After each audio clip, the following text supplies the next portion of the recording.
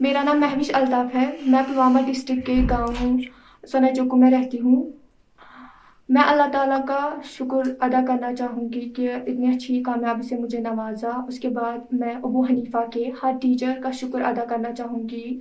Who guided me at every step of my life and then I am thankful to my parents who supported me every time मैं uh, उन students को मुबारकबाद देना चाहूँगी कि जिन्होंने अच्छे मतलब कामयाबी के साथ अच्छे नंबरात के साथ कामयाबी हासिल की। और उन स्टूडेंट्स को मैं ये कहना चाहूँगी जिनका मतलब कोई सब्जेक्ट रिपेयर है या आ, उनको मैं ये कहना चाहूँगी कि आप हार्ड वर्क करें आप हिम्मत ना हारे।